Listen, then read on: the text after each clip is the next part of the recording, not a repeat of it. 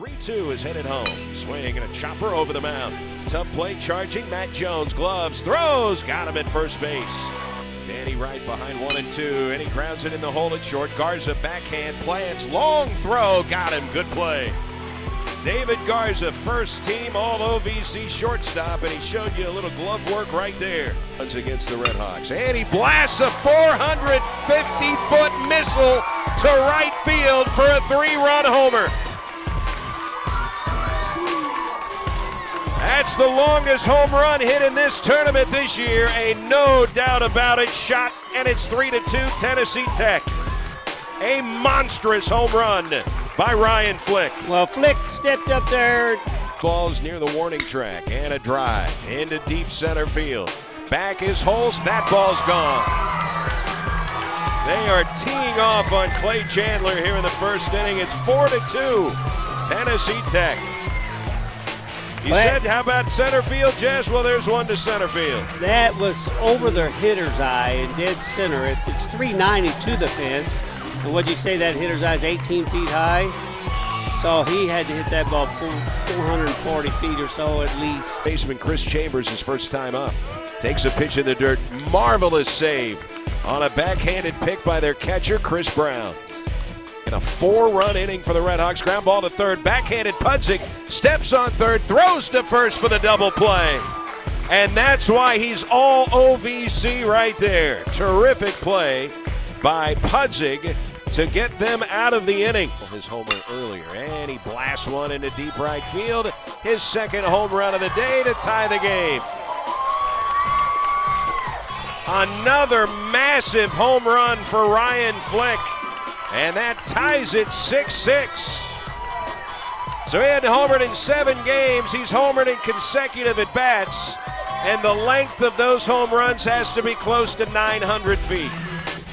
3 2 pitch, lines it up the middle, base hit. And the game is tied. Kept throwing him changeups until it got to 3 2, and then he had to throw a fastball, and it got roped into center field. Good effort by Connor Bosler. He dove for 1 0 pitch. Swing and a shot into left field coming in Haggerty. Base hit. And Tech has the lead 8 to 7. Probably the final pitch for Clayton. The one two is on the outside corner. A strikeout pitcher gets the strikeout. And the wind is blowing that way. 2 2. Called strike three. Didn't swing the bat with the bases loaded. It could put him on top.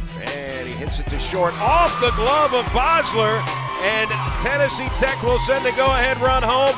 Terrible throw. That is an error on Connor Bacher. 1 1 from Beltran. Fastball hammered deep center field at the wall. Holst leaps, grand slam. And an all time tournament record. No man has ever hit three home runs in an OVC tournament game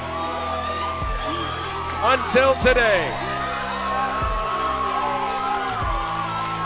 13 to 8, three home runs, nine RBIs for Ryan Flick an all-time OVC tournament first. Run. They do a lot of things. Ground ball toward third. Pudzik to a knee, gets to his feet, throws him out.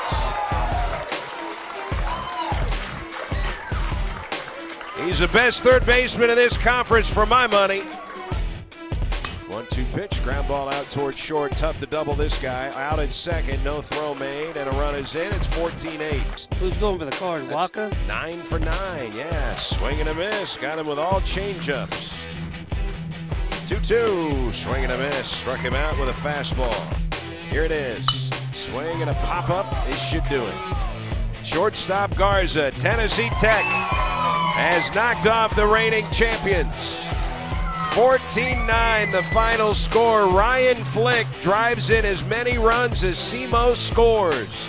Nine an all time OVC tournament record. Three home runs. The two coaching staffs will shake hands.